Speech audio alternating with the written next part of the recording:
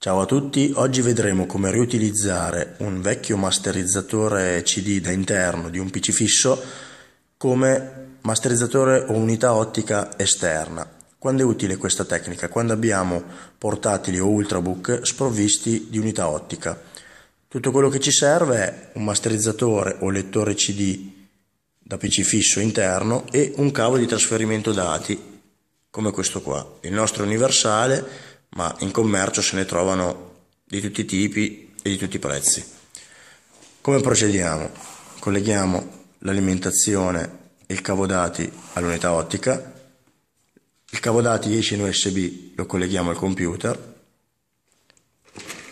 vediamo che è perfettamente funzionante, inseriamo un CD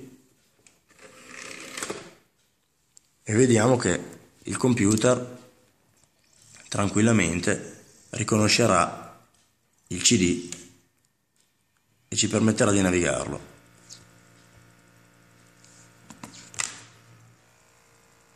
Ecco qua. Ciao a tutti, grazie per aver guardato il video.